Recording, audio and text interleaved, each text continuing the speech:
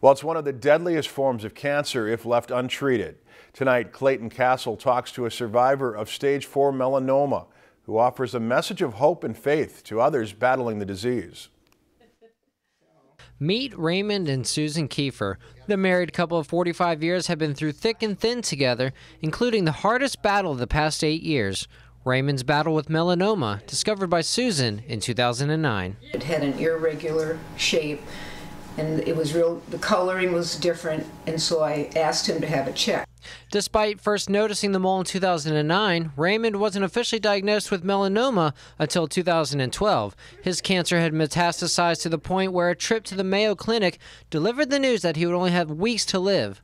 First thing he thought of was his family. I mean, I just immediately, when I was told you've got a few months to live, I thought, gosh, I got to get the house sold, I got to get make sure our wills are in order, everything is taken care of because if I go in a short period of time, it's going to, it's going to be, I'm going to be out of here, but it's going to be all the pressure is going to be on my wife and my kids at that time. That was four years ago.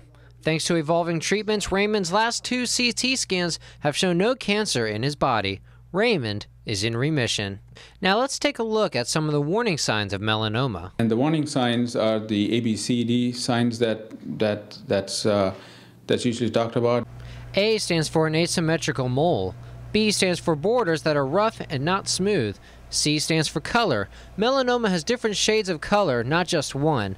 D stands for diameter. If a mole is larger than the size of a pencil eraser, it could be melanoma. And E stands for the evolution or change of a mole. Now, I talked to Dr. Philip here at Essentia Health St. Joseph's Medical Center in Brainerd, and he said that two of the biggest risk factors for melanoma are long exposures to the sun and the use of tanning beds.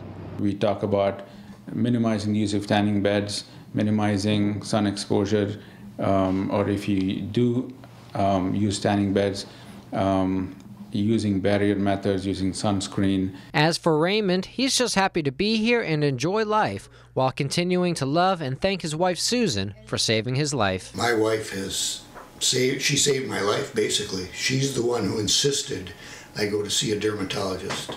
If it wasn't for that, I wouldn't be here. Reporting in Nisswa and Brainerd, Clayton Castle, Lakeland News. According to the American Cancer Society, they estimate more than 87,000 new cases of melanoma will be diagnosed in 2017. If you've enjoyed this segment of Lakeland News, please consider making a tax-deductible contribution to Lakeland Public Television.